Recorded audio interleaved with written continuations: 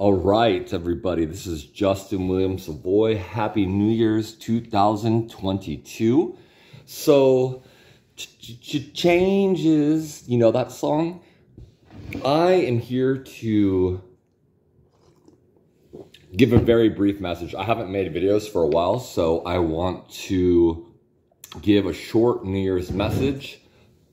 Take hope because the one thing that is consistent is that change is inevitable and I would encourage you to look forward to good things this new year. Um, no matter what you've been through, 2021 is now finished and new things have begun. So look forward to that, something new that would come into your life that will be um, good, positive, and um, fulfill your heart's desire. That would be my hope, my prayer, and my wish for you. Um, I don't have a lot to say in this video other than that um, I am going forward with this. I'm going to continue to make content, provide content for um, this channel. A lot of my content may change. I'm kind of over it with the personality disorder stuff, but as you all know, I've said that many, many times, and we'll probably revisit certain topics in those areas and um, give my insight, give my experience, and clinical knowledge about that. However, I do want to make videos that also focus on um, my interests, hobbies, and a lot of my scholarly um, pursuits. And especially recently, I've been encouraged um, to continue on that path, which has been my intention. Um, originally, I started this video series making videos about um, NPD an experience of mine with a personality disordered individual. However, um, I have a broad range of likes and interests, um, especially books, as, as, many of you know, um, traditionalism, spirituality, uh, religion, philosophy, history, literature in general. So um, that's what I'm going to do.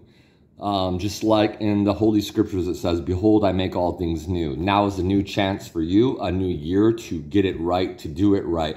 All of us make mistakes. All of us have so many shortcomings and flaws. However, if you're, it's a, it's a constant process um, of working on ourselves, looking at ourselves, self-examining, and being able and willing to do the work. And my hope and desire for you would also be that you would have people that would love you around you to encourage you, to give you hope and uh, inspiration to go forward and to um, pursue those things that fulfill you the most. Putting yourself in that position to follow your bliss. As Joseph Campbell, the comparative um, mytholo- uh, mythologist, um, scholar of comparative religion, said follow your bliss because that's where you're going to be most fulfilled, whether that's vocationally or just in um, your life in general. You can't really go wrong with that advice. Many of us have been given gifts. All of us have been given gifts. All of us have been given talents. And so we ought to utilize those.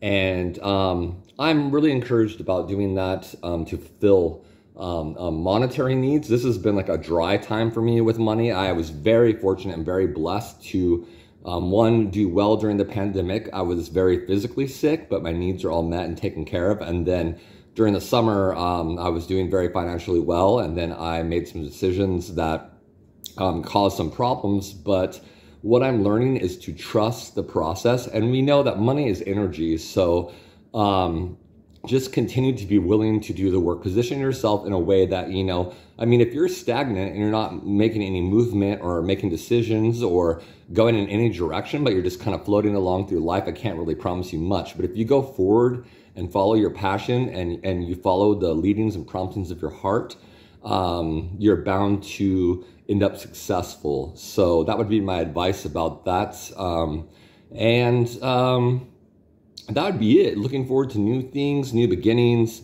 um, new relationships, um, new things vocationally for some of you.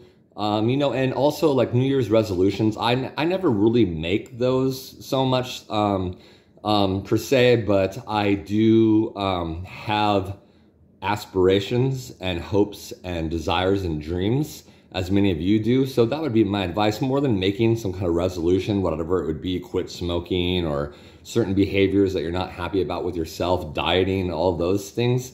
um, look at more of becoming a whole and complete uh, human being. Look at more um, um, in an all encompassing, um, holistic manner, um, um, making yourself healthy and happy spiritually, intellectually, physically, all of those things.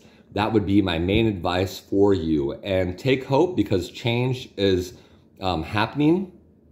And um, Always remember too, our thoughts are so powerful. Our thoughts determine our lives. And at any given time, you can have a negative or positive perspective. Like the Buddhist monk and hermit once said, that all of us walking on this earth, our minds are in one place at any given time, whether that would be heaven or hell. So have heavenly thoughts, have thoughts that are pure and good. If you, we all have negative thinking patterns and you can just change and alter that and actually rewire your brain, which is a fascinating thing, which I've been considering um, lately and just conversing about um, how that happens.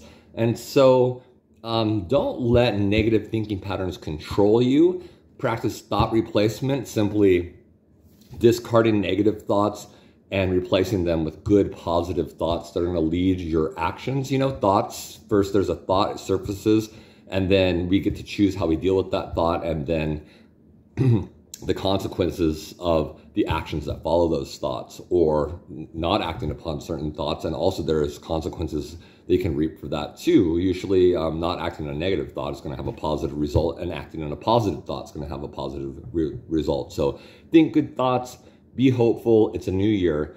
Um, 2022 who would have thought? So this is justin william suvoy uh, if you need to get a hold of me, contact me at uh, suvoyjustin123 at gmail.com, S-U-V-O-Y-J-U-S-T-I-N at uh, 123 at gmail.com.